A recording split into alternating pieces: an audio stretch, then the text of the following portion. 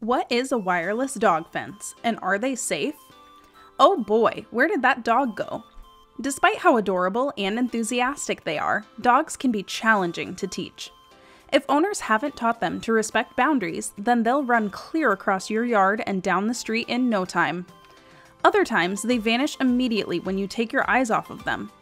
Being a fur parent can be worrying as you feel like you're chasing your tail sometimes. All dogs need to play, but in the wrong neighborhood, letting them off the leash could be a recipe for disaster. For cases like these, the technology of invisible fence was made. Ever heard of it? Training your dog to respect boundaries can be much simpler with an invisible dog fence, also referred to as a wireless dog fence. These dog fences offer your pet the freedom to play and explore safely while in set boundaries. But what is a wireless fence? And most importantly, are they safe? We'll cover everything you want to know about this cutting edge technology. But first, don't get lost in the woods when it comes to the newest dog gadgets. Pet that subscribe button and ring the bell to hear all the latest doggy news first. So, what is a wireless dog fence? A wireless dog fence is a type of technology that eliminates the need for a physical boundary fence. Using a collar that is tied to a preset boundary, it produces a safe dog perimeter fence. When your dog approaches or tries to cross the invisible boundary you have set for them, the collar will be alerted. Depending on the type of invisible fence you use, the collar may produce a warning tone, feedback, or a corrective static shock. Pet parents can become concerned when they hear the term corrective shock, and rightly so. If not accompanied with proper equipment and training, it can be exceedingly cruel on the dog. However, when used correctly, it can give many doggy moms and dads the tools they need to succeed in their pet training efforts.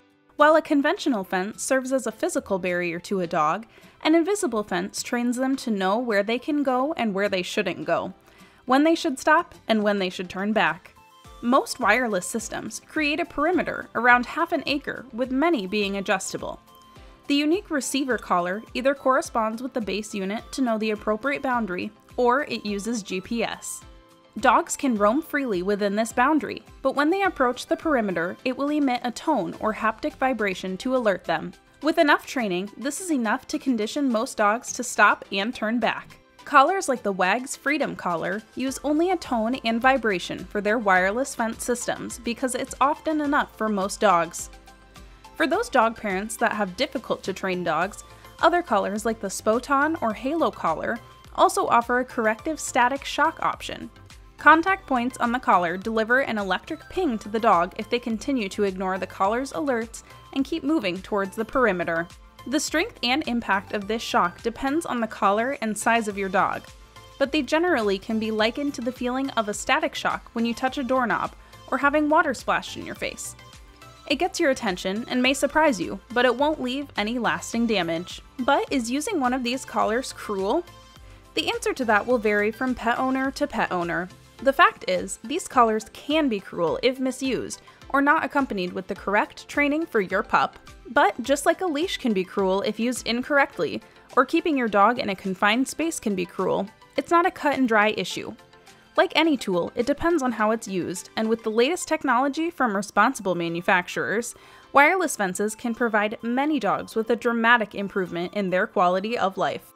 Provided you use the tool properly and take the time to train your dog with their use, if you're unsure how to do that, you can try contacting a professional dog trainer for advice or check out many of the collar's tutorial videos available on YouTube. If you're ever worried if an invisible fence might be right for your dog, ask your vet and get their professional advice. How hard is a wireless fence to use and why are they so popular? Most wireless fences available today are a snap to use with just a few clicks of a button or a few taps of an app.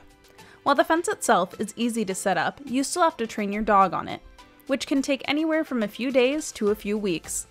But once your dog is trained on them, they can add a lot of convenience to your life at home or on the go. Instead of setting up a whole wooden fence in the yard of your new home, just set up your portable wireless fence and get your pup accustomed to it. Easy peasy. Invisible fences can also be very practical. On properties that are hilly or wooded, or both, it may not be an option to install a physical fence, but that's not the case with most wireless fence systems. Additionally, wireless dog fences don't leave any visible signs. It doesn't interfere with the green spaces in your yard and enhances your dog's experience of being outside in nature.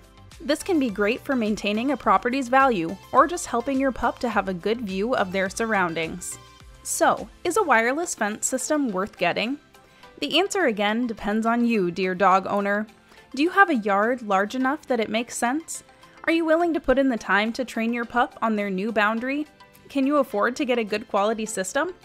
When paired with the right training and environment, a wireless fence can be a great gadget to enhance your dog's time outdoors and give you valuable dog training experience. What are the points against wireless fences? Despite the benefits, we'd be remiss to not mention the negatives of a wireless fence system. The first and most common issue is inappropriate use of the system. Whether using a cheap or faulty collar, or not taking the time to properly train your dog on it, any of these can lead to distress and behavioral issues in your pup. Even with proper training, there's no guarantee your dog will take to the invisible boundary, so you'll have to utilize a return on your purchase. There's also the possibility of hardware failure. The perimeter of the invisible dog fence isn't foolproof. Weather, terrain, or low batteries could cause the perimeter to fail and your pup to make it out of containment. Ultimately, the choice of trying a wireless fence is one you'll have to weigh based on you and your pup's unique situation. Wireless fences are popular among dog owners because they are simple to set up and maintain and can also be quite flexible and convenient. A wireless fence can be a great option for keeping your dog in the yard, but only if you understand the responsibilities involved. It's not as simple as set it and forget it. Pay attention to your dog's needs and patient with their behavior. Dogs are naturally quick learners, but some can take longer than others. It'll take time, training, and a lot of learning on both your part and your pup's to make sure your purchase is a worthwhile investment.